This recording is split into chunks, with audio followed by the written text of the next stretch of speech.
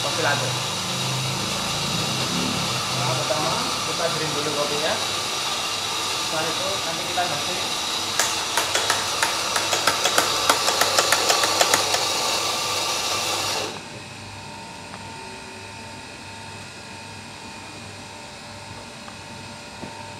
langkah ketiga adalah kita lamping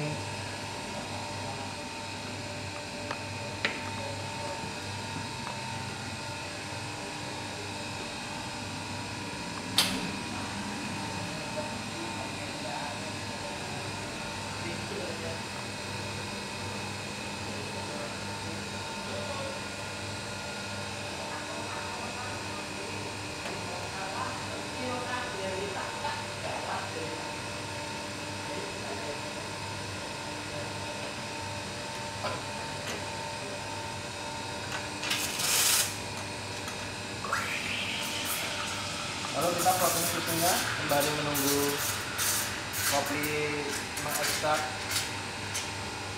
sari kopinya